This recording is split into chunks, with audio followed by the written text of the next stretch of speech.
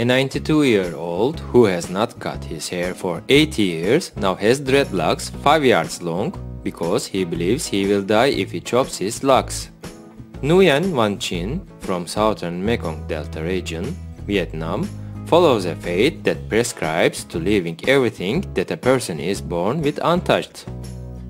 I believe if I cut my hair, I will die. I dare not to change anything, not even combing it. Chien said speaking from his village about 50 miles west of Ho Chi Minh City. I only nurture it, cover it in a scarf to keep it dry and clean and looking nice. Chien, who worships nine powers and seven gods, believes it was his calling to grow his hair, which he bundles up under an orange turban. He was required to trim it when at school but left after 3rd grade and decided never to cut, comb or wash it again. I remembered my hair was black, thick and strong. I combed it, untangled it to make it smooth. But when I heard the calling from the divine power, I knew immediately that I was chosen, he said. I touched my hair and overnight it has become really hard. It has attached to my head and became a thing of its own.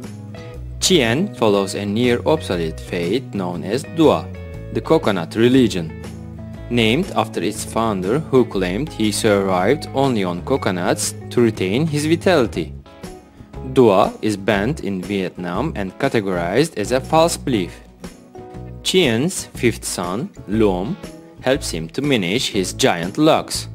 He too believes in the connection between hair and mortality, having seen a man pass away after trying to reattach his hair with string.